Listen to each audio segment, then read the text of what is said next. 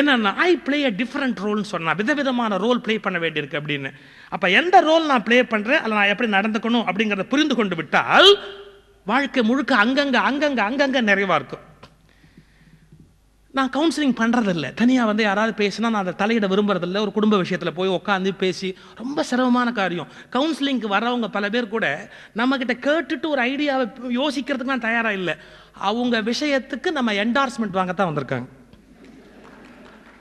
Husband wife வந்தால் என் wife மக்கு அதை நான் சொல்லிக்கிட்டு இருக்கிறேன் அதை நீங்கள் சொல்லுங்க. இதுக்கு என் வேலையா அது? ஒய்ஃப் என்ன சொல்லுவா தெரியுமா? இந்த ஆள் ஒரு சிடுமுஞ்சி எவ்வளோ சொன்னாலும் இருக்கு வந்து சுறுசுறு கோவம் தான் வருமே ஒழிய நிதானமாக உன சொல்கிறதுக்கே தெரியாது. அதை நானும் ஐம்பது வருஷமாக சொல்லி பார்த்து அழுத்து போயிட்டேன். நீங்கள் கொஞ்சம் சொல்லுங்க. இது என் வேலையா? ஒய்ஃப் ஹஸ்பண்டை பற்றி ஒரு ஒப்பீனியன் வச்சிருக்கா? ஹஸ்பண்ட் ஒய்ஃபை பற்றி ஒரு ஒப்பீனியன் வச்சிருக்கா? அது ரெண்டுக்கும் என்டார்ஸ்மெண்ட் யார்கிட்ட வாங்கிட்டு போகலான்ட்டு எங்கிட்ட வந்து உட்காந்துருப்பாங்க கவுன்சிலிங் அப்படின்னு சொல்லி.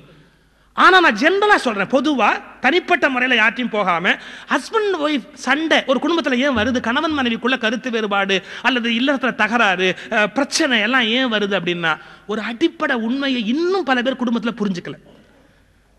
இப்போ நான் வந்து ஒரு ஃபாதர் அப்படின்னு ஒரு ரோலை நான் ப்ளே பண்ண ஆரம்பிக்கிறேன். வீட்டில் அப்பா அப்படின்ற ரோலை ப்ளே பண்ண ஆரம்பிச்சாச்சுன்னா என்டையர் நான் டிஃப்ரெண்ட் பர்சனாக இருக்க வேண்டியிருக்கு. ஹஸ்பண்ட் அப்படி ஒரு ரோல் நான் பெர்ஃபார்ம் பண்ணுற போது என்னுடைய என்னுடைய ஆக்டிவிட்டீஸ் என்னுடைய அப்ரோச் என்னுடைய திங்கிங் என்னுடைய லைஃப் ஸ்டைல் என்னுடைய பார்வை எல்லாம் மாற வேண்டியிருக்கு.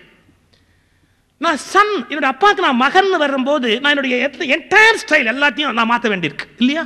வி ப்ளே டிஃப்ரெண்ட் ரோல்ஸ் விதவிதமான பாவங்களை விதவிதமான வேலைகளை நம்ம செய்கிறோம் விதவிதமான வேஷங்கள் போடுறோம். அந்த வேஷங்கள் எல்லாம் உண்மையான வேஷங்கள். அதான் வித்தியாசம். இல்லறத்துல கணவன் மனைவி தகராறு கணவன் மனைவி தகராறு கணவன் மனைவி தகராறுங்கிறாங்களே ஒரு விஷயத்தை புரிந்து கொண்டு விட்டா இல்லற்ற சண்டையே வர முடியாதுங்க. என்ன? ஒரு கணவன் என்ன நினைக்கிறான் தெரியுமா? என் மனைவி எனக்கு என்னென்ன உதவ முடியும்னு லிஸ்ட் வச்சிருக்கான். ஒரு மனைவி என்ன எதிர்பார்க்கறா தெரியுமா? இந்த கணவர் எனக்கு என்னென்ன உதவ முடியும்னு லிஸ்ட் வச்சிருக்கா இந்த மாதிரி லிஸ்ட் வச்சிருக்கவங்க கல்யாணம் பண்ணிக்காதீங்க. இந்த லிஸ்ட் வச்சிருக்கவங்க கல்யாணம் பண்ணிக்காதீங்க. ஏன்? உங்களுக்கு இன்னொருத்தர் உதவுறதுக்கு கல்யாணம் அல்ல. இன்னொருத்தருக்கு நீங்க உதவுறதுக்கு தான் கல்யாணம். நான் அவளுக்கு என்ன பண்ண முடியும்? நான் உனக்கு எப்படிலாம் ஹெல்ப்ஃபுல்லாக இருக்க முடியும்? இதை கணவன் யோசிக்கணும். உனக்கு நான் எப்படி எல்லாம் ஹெல்ப்ஃபுல்லாக இருக்க முடியும்? இதை மனைவி யோசிக்கணும். இன்னைக்கு சொல்றேன் எனக்கு இவ இதெல்லாம் பண்ணினா என்ன நினைக்கிற கணவனுக்கும் எனக்கு இவர் இதெல்லாம் பண்ணினா என்ன நினைக்கிற மனைவிக்கு தான் தகராறு இருக்குமே ஒழிய இவளுக்கு நான் என்ன உதவலாம் அப்படிங்கிற கணவனுக்கும் இவருக்கு நான் என்ன உதவலாம்ங்கிற மனைவிக்கு நடுவில் சண்டை வந்ததா வரலாறே கிடையாது. வரவே முடியாது. அப்ப என்னன்னா அந்த இல்லறத்துல உன்னை அறியணும் உன்னுடைய ரோல் என்ன? நீ என்ன பெர்ஃபார்ம் பண்ணுன்னு புரிஞ்சுக்கணும். பெரிய சபை நான் சொல்லலாம் சொல்லாமையும் போகலாம் ஆனாலும் சொல்லாமல் போக முடியாது சொல்லிட்டு போயிடுறேன். குடும்ப வாழ்க்கைக்கு இல்லை. குடும்ப வாழ்க்கைக்கு இல்லை. தாம்பத்தியம்ங்கிறதுல என்ன இருக்கு? இன்னைக்கு தாம்பத்தியம் எல்லாருடைய எண்ணம் என்ன தெரியுமா? தான் எப்படி சந்தோஷப்படுறதுங்கிற எண்ணத்தோட தாம்பத்தியத்துக்கு போறவன் ஃபெயிலியர் ஆயிடுறான். எதிர்த்தரப்பை திருப்தி செய்ய வேண்டும் என்ற எண்ணம் எவருக்கு இருக்கிறதோ அவர்கள்தான் தாம்பத்தியத்தில் வெற்றி பெறுகிறார்கள். தான் திருப்தி அடைய வேண்டும் என்ற எண்ணம் இருக்கிறவர்கள் ஒவ்வொரு முறையும் தாம்பத்தியத்தில் தோற்று போகிறார்கள். எதிர்த்தரப்பை திருப்தி செய்ய வேண்டும் என்ற எண்ணம் உடையவர்கள் தாம்பத்திய உறவில் தோற்றதாக வரலாறு கிடையாது. நான் அவளுக்கு நன்மை செய்ய வேணும் அவள் எனக்கு நன்மை செய்ய வேணும். இதான் சீக்ரெட் இல்லறத்துடைய சீக்ரெட் அதை விட்டு அவ எனக்கு இந்த உதவி பண்ணினா என்ன? என்ன அவன் நினைக்கிறா இவர் நமக்கு இந்த உதவி பண்ணா என்ன?